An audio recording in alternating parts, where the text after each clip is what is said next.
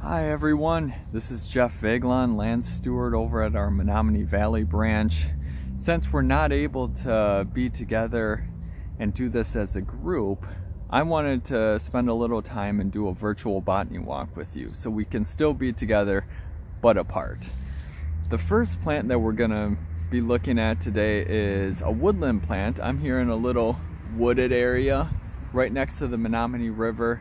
Uh, the first plant that we're going to be looking at is one that you might not be familiar with, um, but it's actually not too rare in wooded areas. And then the second one, you probably are familiar with it and you might not like it actually. So I'm just gonna flip the phone around, flip the camera, and we'll we'll start out with the first one. All right. So I'm sitting right next to this plant down here. This is uh, one of our earlier blooming woodland plants. And I'm just gonna get a little bit closer to this, this one. So this plant here is cutleaf toothwort. It's a colonizing plant, which means it spreads by rhizomes and the clump gets a little bit bigger and I'm zooming out. The clump gets a little bit bigger and it just kind of spreads that way. Now colonizing plants can also spread by seed. It doesn't mean that they only spread by rhizomes. So they can spread by seed also. But this plant is a colonizing plant. It's got these opposite side leaves to it. Let me find a good one that we can, here we go. So it's got opposite side leaves. You can see that the two leaves come directly out at the same point. It's got a palmate divided leaf.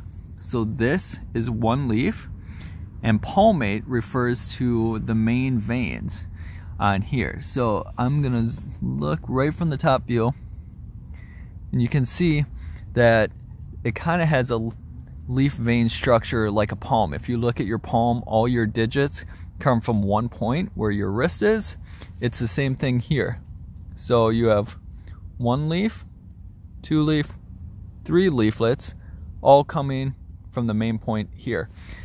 Uh, opposed to a pinnate style leaf, which is more like an ash tree or a walnut tree, where you have leaflets that come out opposite of one another, and they're usually 7 to 15 leaflets, and then they would have one at the end. But this is a palmate leaf, opposite side. The flower on it, I'm just going to move over to this one now. The flower is a four part flower, so there's four petals on there. They are little white you can see by the size of my finger. They're pretty small. They're usually drooping down. These ones are white, but this plant can also have more of a pinkish to a purple flower as well. And this plant is a pretty good pollinator or a pretty good attractor to bumblebees and other early emerging pollinators. The next plant so that is cutleaf toothwort. The next plant is luckily right next to me. I'm just gonna get up. Everyone's probably familiar with this plant here. So it's got these curled up leaves. There we go. It's got these curled up leaves, kind of serrated on the edge simple purple flowers I think they're actually really cool so this is common wood violet mean look at that flower. I think most people look at this plant and think it's a weed think it's not desirable. But this plant is a very early bloomer just like cutleaf toothwort. And this is a really good attractor to other early emerging pollinators. Now there's other plants that are also blooming right now, uh, such as Scilla or it's also called Siberian squill.